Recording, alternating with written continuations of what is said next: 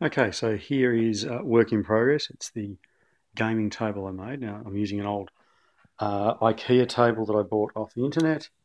Uh, it's one of these expandable ones, so it's got these rails down here. You can see where there's little bits that slide in and out uh, of it. There's actually um, two expandable sections that go in the middle here, and then there's the, the two uh, side pieces. Now I've just taken one off just for simplicity at the moment to show how it all works. But so the way this works is you can use it as a normal table or you can take the expansion uh, sliding bits off.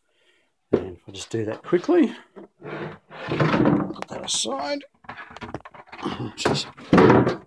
Okay and now what we're left in here with is the inner frame of the table.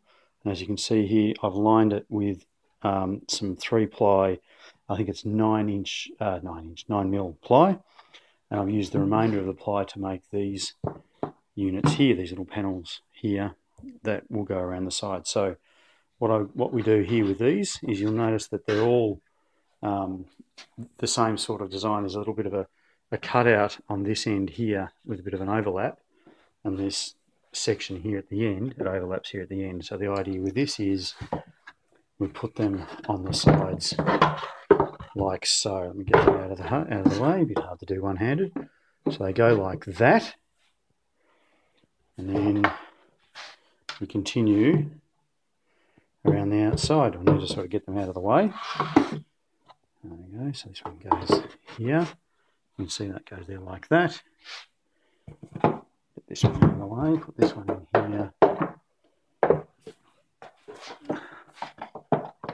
Not quite right. I need to juggle that around there, line that up. And then this piece here hooks in under that, under that end there, slides in there, and then a bit of, bit of juggling around at the moment because I haven't set it in. And then we have where what's looking like uh, is going to be the finished product. So a bit of an edge around the outside, and you can see that the uh, in the corners there they meet reasonably well. So I've got this little foam base in here that'll make it easy to um, pick up cards and I'm going to put some uh, green uh, playing surface uh, material on top of that and staple it down over the outside uh, underneath uh, these edge pieces here. Bit of a finish on those and will be uh, it'll look a little bit nicer than these plain um, plywood that I'm using here at the moment. Just use plywood because it's simple and I had some.